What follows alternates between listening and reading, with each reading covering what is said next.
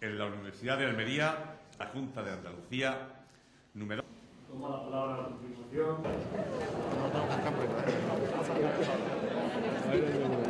Venid por acá, venid por acá, que lo va a explicar. Venga, lo va a explicar la secretaria general de la Junta. Después de un año en Cádiz, en Sevilla, Bueno, en este, en este ambiente, en este contexto, el Gobierno andaluz, que no es un banco, ha decidido movilizar todos los recursos disponibles para ofrecer a empresas que sean viables modos de financiarse que contrarresten esta escasez de crédito.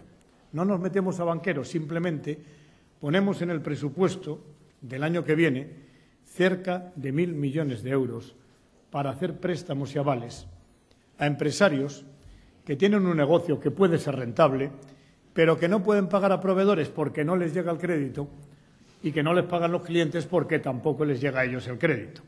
Y por eso ponemos a su disposición un dinero que creo que si se pudiera complementar también con más dinero puesto por el Gobierno de España, tendríamos la oportunidad de que ese, ese crédito que ahora mismo no se produce se pueda producir también para la actividad que genere crecimiento y que genere empleo. Bueno, hasta de banqueros tiene que hacer de vez en cuando la Administración cuando lo que está fallando es el sector crediticio. Hoy día.